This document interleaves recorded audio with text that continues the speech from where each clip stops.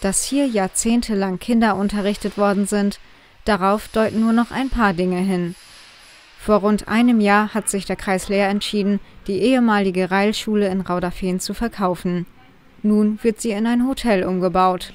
Insgesamt sollen hier etwa 40 Zimmer mit 76 Betten entstehen. Die Räumlichkeiten waren ja noch ziemlich also vollgestellt, auch mit, mit alten Schulmöbeln. Das musste erstmal alles äh, ja, entsorgt werden. Äh, aber der, äh, das Gebäude ist so allgemein eigentlich in einem sehr guten Zustand. Es soll schon eigentlich modern eingerichtet werden.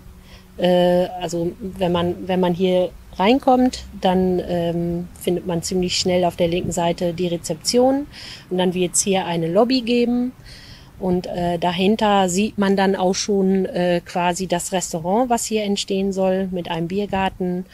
Und die Zimmer werden sicherlich auch modern eingerichtet, sicherlich auch mit kleinen historischen Elementen äh, oder auch mit ähm, ja, Elementen, die noch erahnen lassen, dass es mal hier eine Schule war. Der vordere Gebäudeteil ist 1886 als Navigationsschule gebaut worden, in der bis nach dem Ersten Weltkrieg Seefahrer ausgebildet wurden. Ab 1974 hat dann die Railschule das Gebäude übernommen. Die Förderschule ist nach etwa 40 Jahren geschlossen worden, nachdem die Schüler im Zuge der Inklusion in andere Schulen gegangen sind. Ein Hotel aus dem leerstehenden Gebäude zu machen, war umstritten. Auch ein Familienzentrum war im Gespräch. Daraus wurde aber nichts.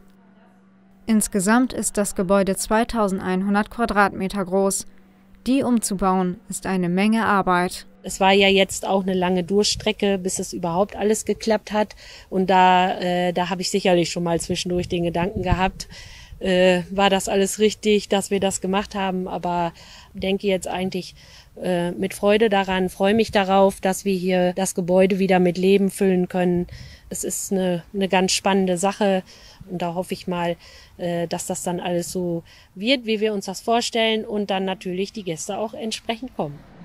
Geplant ist, dass das Hotel im späten Frühjahr 2021 die ersten Besucher empfangen kann. Einen Namen hat es auch schon. Heißen wird das Hotel Alte Navigationsschule.